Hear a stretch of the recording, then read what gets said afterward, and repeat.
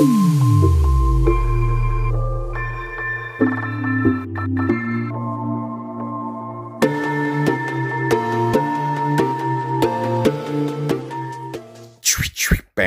bow, bow.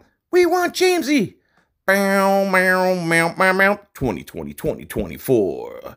Boom. Yeah, yeah. Y'all hear that? Yeah. Y'all hear that? Yeah. Well, clap your hands then. If you want to see McLynas for president, clap your hands then. That's what you got to do if you want to see him for president. That's not even what he's running for, oh my Jesus. It's running for sheriff. Wow. Anyway, James McLynas Pinellas County Sheriff, Florida, Pinellas County, Florida, 2024. If you don't vote for him, Pinellas, you are your own worst enemy.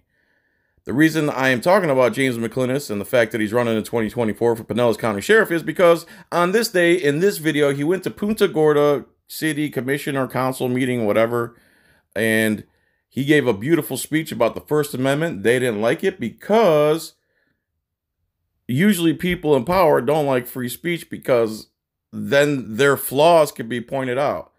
Well, he points out their flaws, compares them to Putin, puts them in their place, and then gives him a giant FU, which I'm going to bleep out, but that's the only cuss word. So, James McLynas, Pinellas County Sheriff 2024, watch him destroy these government parasites. And with no further Mountain Dew, here we go.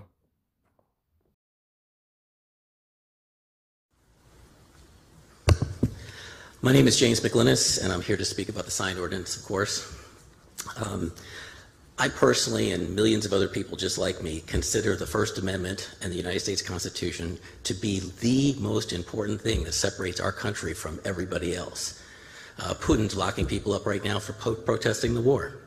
He's got a big mis- dis- disinformation campaign. If you try and tell the truth, you get put in jail. And a lot of people look at that and they say, that's terrible, that's terrible. But this city council is doing the exact same thing. You're, you're not like the Wizard of Oz, you're not little, Lilliputians, you're little Putins.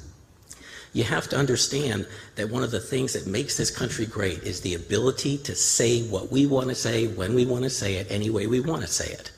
And people like you do not have the right to tell us we can't. The Constitution guarantees that and you worry about how we, you wonder how you got into this big mess. This big mess started several years ago when people started protesting your police that were overly abusive and heavy handed in what they were doing, and in a lot of ways very corrupt. And people started monitoring that, following that, videotaping them, and seeking public records.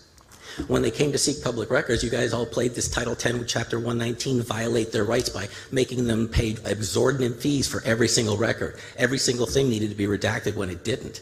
You withheld records intentionally from these people requesting records. And then, in order for them to enforce the law, Title 10, Chapter 119, they have to sue you. But in order to sue you, they have to prove that you did not give them the records they asked for. And to do that, they needed to videotape asking for the records. So what did you do then? You made it a crime to videotape inside public building.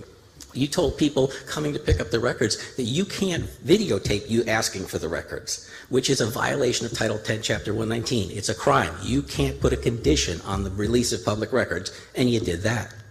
And when that wasn't enough, these people got angry and they went out and started protesting.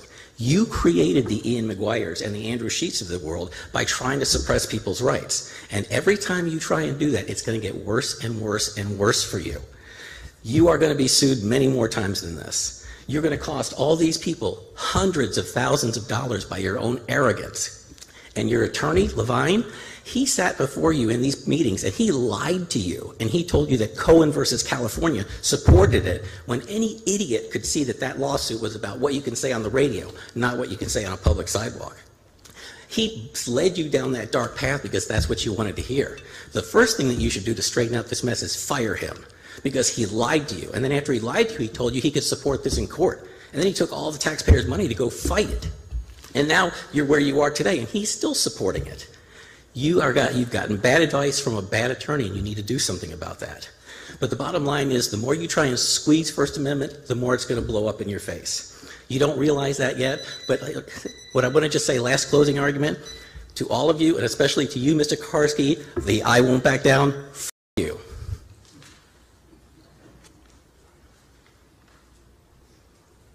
Well. Alrighty then. Thanks for watching. Vote for James McLynas 2024, Pinellas County Sheriff. Bye.